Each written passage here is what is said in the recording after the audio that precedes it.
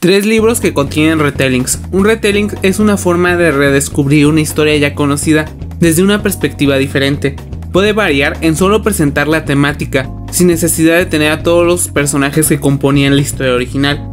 Empecemos con mi saga favorita de fantasía, que es la saga de The Witcher de Andrzej Sapkowski o la saga de Geralt de Rivia. En esta saga tenemos varios retellings y en el primer libro titulado El último deseo tenemos el retelling de Blancanieves. Ahora con el nombre de Renfi, quien es una persona a quien la vida no ha tratado precisamente bien y la ha convertido en una versión cruel y despiadada de sí misma. Esta historia se adaptó en la primera temporada de la serie en Netflix. El siguiente corresponde a un libro muy popular, ya sea en TikTok o en YouTube, y me refiero a Una corte de rosas y espinas que es una nueva versión de La Bella y la Bestia, pero solo tomando el concepto, dándole un giro totalmente a la historia, con personajes totalmente nuevos a los que vimos en el cuento clásico. En él vemos a una cazadora de nombre Feira, quien es forzada a quedarse con un hombre debido a un asesinato que fue perpetuado por ella misma. Por último tenemos uno mucho más directo que los dos anteriores, y me refiero a la totalidad de las crónicas lunares escritas por Marisa Meyer.